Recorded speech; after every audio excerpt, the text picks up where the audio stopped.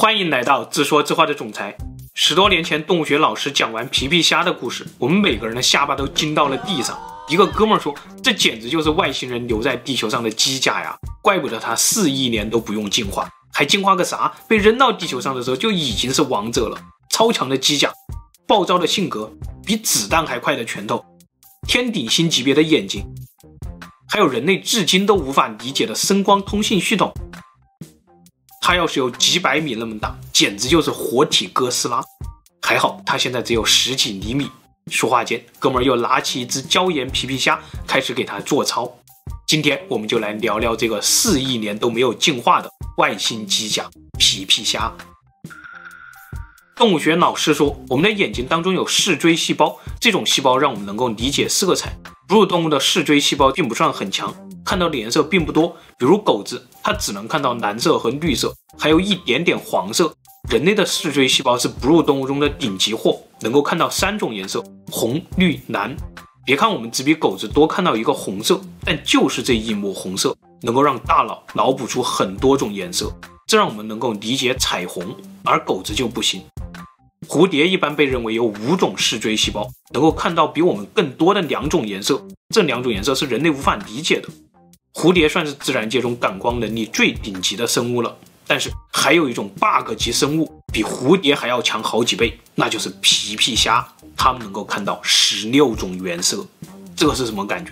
完全无法用语言来描述。也许当皮皮虾看到彩虹的时候，那是一种像宇宙大爆炸一样的绚丽吧。所以现实当中的皮皮虾和蝴蝶一样，是这种迷彩的形态。我们看到它的这种色彩，也只是它真实样子的百分之一到千分之一，因为我们能够理解的色彩范围，也就是它的几百亿千分之一。除了色彩以外，皮皮虾的眼睛其他参数也绝对是生物界的顶级货。看见红外线、紫外线，这都是基本配置。最厉害的是它有六个瞳孔。人类的双眼模式让我们能够分辨远近、判断距离，在我们的理解范围内，这种双眼视觉就够用了。但是皮皮虾说：“你逗我玩了，用两个眼睛来判断距离和远近，你这不是自己糊弄自己吗？要准确判断，至少六个眼睛，六眼看世界，什么感觉啊？”哲学家说：“世界不缺乏美，而缺乏一颗发现美的眼睛。那装备了这样一双绚丽眼睛的皮皮虾，应该也有一颗浪漫的心吧？但事实上，皮皮虾却用这双完美眼睛在海底耍流氓。”有一位叫做希拉帕特的生物学家说，皮皮虾是世界上最快的动物。他曾经做过这样一个实验：先把一只皮皮虾饿上好几天，然后在一个力量传感仪上放点虾酱，这样饥饿的皮皮虾就会来攻击这个传感仪。他制作了一个四十五公斤的传感仪，没想到皮皮虾一拳下去，传感仪爆表了。换了一只实验室里最瘦小的皮皮虾，结果一拳下去还是爆表。真不敢想象，这个不到十厘米的小东西是怎么能用七毫米大小的拳头打出超过四十五公斤的力量。再制作一个九十公斤的传感仪，毫无悬念又爆表了。当年动物学老师讲到这里的时候，我们都要疯了。学姐在旁边说：“我们实验室在座的各位男士，你们有几个人能够连续打爆九十公斤的传感仪？”传感仪升级到一百三十五公斤，这次总算 hold 得住了。然后希拉还想尝试一下皮皮虾的出拳极限，最终这个数值落在了恐怖的一百五十公斤。据说李小龙的快拳力度是一百五十九公斤，李小龙的拳头有沙包那么大，而皮皮虾的拳头只有七毫米。所以皮皮虾出拳到底要有多快，才能用七毫米打出一百五十公斤呢？具体的实验过程我们就不多说了，直接说结论：三千分之一秒内，从零加速到八十公里每小时，加速度超过了一万个重力加速度。火箭升空只需要十个重力加速度。换算一下，如果人类以皮皮虾出拳速度去甩胳膊，基本上能把任何一个人造卫星直接甩上太空，进入地球轨道。接着，在希拉的实验当中出现了一个诡异的数据。力量图表上显示，第一次打击之后不到半毫秒，又出现了第二次打击，而且两次打击的力度相当。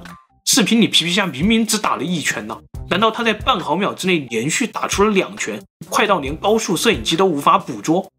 后来 BBC 为希拉提供了一段高清高速的录像，才破解了这个谜团。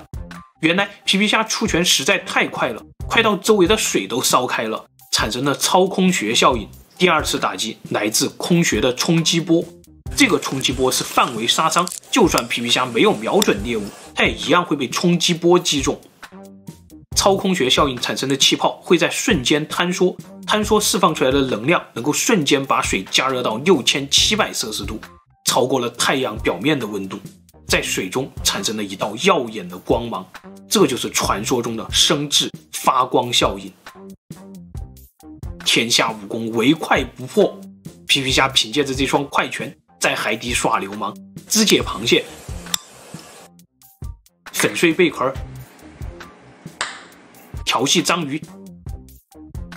故事分享到这里，可能有吃货朋友要说了，不对啊，我们吃皮皮虾前面都是一对像螳螂一样的爪子啊，并不是这种锤子。啊。这背后大概有这样一个故事。时间回到一九七五年，一个好奇的记者敲开了罗伊教授的门。加州外海当中有很多这种奇怪的虾爬，美味可口。罗伊教授正在研究如何驯化它们，让它们能够成为一道人工养殖的美味。罗伊教授将一只皮皮虾放在鱼缸中，向记者介绍。记者越听越起劲儿，拍了拍鱼缸，想让皮皮虾老兄转个身。结果老兄被激怒了，直接扑过来，一锤子击碎了鱼缸，扑到记者的脸上，整个实验室被淹没了。看着被吓傻的记者，罗伊教授说：“万万没想到啊，他竟然这么凶。”几周以前，他的一个研究生被皮皮虾一拳击中拇指，豁开了一个大口子，鲜血哗哗的流。他的学生把这个玩意儿叫做拇指杀手，今天自己总算亲眼见识到了。后来，罗伊教授的研究工作终止了，因为他得出结论，皮皮虾太凶了，无法驯化。再后来，大家发现还有一种长毛皮皮虾稍微好一点，但也只是稍微好一点而已。无论是长毛皮皮虾还是锤子皮皮虾，你基本上都不可能在水族馆里见到它们，因为它们会轻而易举地杀光水族馆里所有能动的东西。碰到锤子皮皮虾，还会时不时的来个爆缸，这谁受得了啊？网上有一段视频，一个作死小哥调戏皮皮虾，挺活跃的。哦遇到我你还逃得掉吗？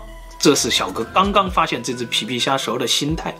结果一把抓下去，小哥就怂了，不停的叫疼，语气也立刻变了。大哥，我错了，我不伤害你，你也不要伤害我，好不好？还好，这只是一只长毛皮皮虾。只不过给它扎了个口子，要是锤子皮皮虾来一锤子。科学家们用高速摄影机记录下来长毛皮皮虾捕食的场景，它和锤子皮皮虾刚正面的作风不一样，躲在沙子里，用那双完美的六眼系统监视着猎物。这个时候，它正在精准的计算攻击参数，因为就在接下来的千分之一秒内，它的长矛将出鞘入鞘，一击必杀。慢放六十倍以后，我们才能看清长矛出鞘入鞘的过程。科学家说，他们之所以能够如此精准地击杀猎物，是因为他们那对完美的眼睛提前做好了全部的计算。除了精准度以外，还有一个问题是力度。究竟是什么原理让皮皮虾能够爆发出如此强的威力了？我们继续看，匈奴王阿提拉的骑兵为什么能横扫欧洲？成吉思汗的草原骑兵为什么能征服世界？据说两样科技必不可少。第一个就是能够将人固定在马背上的装置马鞍，这样人就可以腾出双手转身射箭。第二个就是体积小巧但威力爆表的黑科技反曲弓。小巧的反曲弓能让马背上的射手精准地击穿重甲骑士的铠甲。反曲弓和马鞍有什么共同点呢？那就是数学上的双曲面系统。双曲面系统蕴含着巨大的弹力，也能用最少的材料和接触面积创造出最稳定的结构。悉尼歌剧院就是建筑设计师们向双曲面系统的致敬。无论是长矛还是重锤，皮皮虾的威力都来源于身体上的一个双曲面系统。双曲面收缩，储存能量，扣动扳机，瞬间爆发，将拳头弹出去，创造出生质发光效应，就是这么简单粗暴。但是紧接着问题又来了。都生质发光了，都达到太阳表面的温度了，那为什么皮皮虾自己的锤子没有被锤坏了？美国军方对这个问题表示出了浓厚的兴趣。要是能用皮皮虾的锤子做防弹衣、防弹头盔、盾牌、坦克装甲，这简直就是来自天顶星的装备啊！具体的研究进展不明，据说这正是下一代防护机甲的发展方向。但是大体的原理是这样的：皮皮虾的锤子表面有三层特殊的纳米结构，能够吸收能量，抑制皲裂，比人类已知的任何结构都具有更好的抗冲击性。也许各大国的军方都在秘密研究这个仿生科技吧。要知道，搞不好这可是四亿年前外星机甲的逆向工程啊！